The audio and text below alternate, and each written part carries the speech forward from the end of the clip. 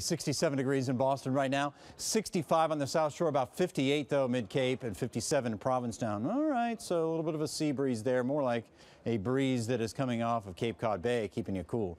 How about that tree pollen? All right, huh?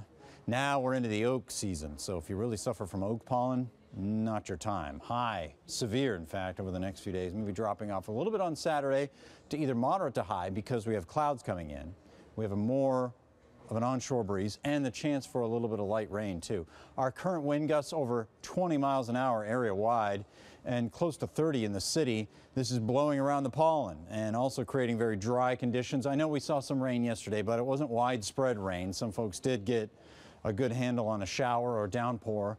Unfortunately, it didn't last long, but it was enough to keep the dust down and lower the pollen in some cases. So tomorrow, nothing but sunshine. We have lighter breezes. Still, uh, you know, there's still a fire risk, but it's not as high as today. Humidity is low tomorrow, but we don't have the wind.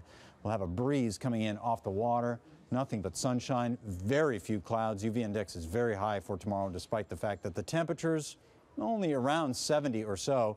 In fact, only upper 60s in some cases along the coastline with that sea breeze. Look at this in Rockport, 62, 65 Marblehead, 67 Boston. 70s as nearby as Middleton, even perhaps Wenham and over towards Topsfield. And then Waltham, we're good, around 70 or 72, out through uh, Dedham and into Shrewsbury, Brockton. Duxbury down through Barnstable, our temps in the 60s. So a little bit warmer on the Cape tomorrow owing to the fact that the winds are locally onshore, not a strong onshore component. Drought monitor says we're in dry conditions. Really? Yeah, really. After all that snow? Yeah, after all that snow. The snow melted, went into the ground, percolated, went into the water table. It's there. It's not in the top layers of the soil, which is where we need it if you're a gardener or if you just like growing a lawn or just like the fact that, you know, greenery is growing and keeping it growing. Worcester's over four inches below normal and Boston about four inches below normal.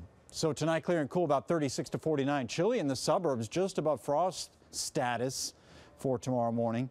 64 to 72. Sunny and dry coastal sea breezes tomorrow. 7 on 7 forecast. Yeah, I kind of backed off on those warm temperatures for the weekend. Way back. It's almost a 20 degree drop from what I had yesterday it's the difference between the front coming through and the front not coming through. I'm not thinking it's coming through. And so we stay in the clouds. We stay in the cool air too. Sunday we have a back door front coming in, so 50s at the coast, not a beach weekend.